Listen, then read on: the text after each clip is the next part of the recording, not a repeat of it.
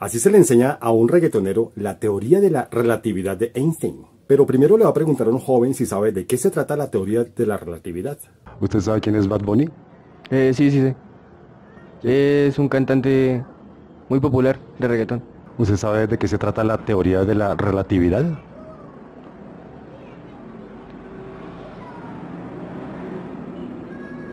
Eh, Imagina que Bad Bunny se despierta de un sueño profundo dentro de su avión Airbus A320 de casi 75 millones de dólares de noche con las ventanas cerradas. Así las cosas, Bad Bunny no puede saber si se está moviendo, si el avión está detenido en el aeropuerto o si está volando. ¿Y por qué? Porque para Bad Bunny todo está quieto. La silla, las ventanas, los pasajeros, todo está quieto. Bueno, supongamos que el avión sí está volando. Y Bad Bunny se para de su silla y camina hacia adelante del avión. Caminaría a unos 2 kilómetros por hora, la misma velocidad que si caminara tú o cualquiera por un parque. Pero si tú estás en tierra viendo a Bad Bunny viajando en su avión, aunque Bad Bunny esté sentado en su silla, tú ves que está desplazándose a 700 kilómetros por hora la velocidad de un avión.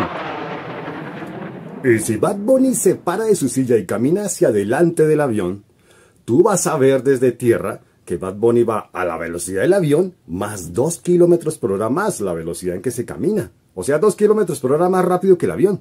Pero algo extraño sucede si Bad Bunny se para atrás del avión y prende una linterna que alumbre hacia adelante. ¿A qué velocidad iría la luz dentro del avión? La velocidad de la luz dentro del avión sería de 300.000 kilómetros por segundo, y Bad Bunny adentro del avión lo vería así. Recuerda que para todo el mundo dentro del avión todo está relativamente quieto. Pero para ti que estás en tierra, viste que cuando se encendió la luz, el avión estaba aquí. Pero como el avión está en movimiento, se desplazó y cuando la luz llegó al frente del avión, ya el avión estaba aquí. O sea que para Bad Bunny la luz recorrió esta distancia, pero para ti recorrió mucha más distancia. Pero para ti, en tierra, ¿a qué velocidad se desplazó la luz? Lo lógico sería sumar la velocidad de la luz más la velocidad del avión, lo mismo como hicimos cuando Bad Bunny caminó dentro del pasillo del avión. Pero eso no se puede hacer. La velocidad de la luz es de 300.000 kilómetros por segundo siempre en el vacío, no cambia. Y no puede ir más rápido. Realmente tuviste que la luz se desplazó a la misma velocidad, 300.000 kilómetros por segundo, pero recorrió más distancia. Y eso no tiene sentido. Ese es el gran problema que Albert Einstein resolvió. Einstein dijo, pues para Bad Bunny, que está en movimiento dentro del avión, a una alta velocidad, el tiempo es menor, más cortico, para él transcurre todo más despacio, que para ti que estás afuera quieto viendo desde lejos. El tiempo es lento cuando hay movimiento, transcurre más despacio que cuando no hay movimiento. El tiempo es relativo, por eso el nombre de teoría de la relatividad.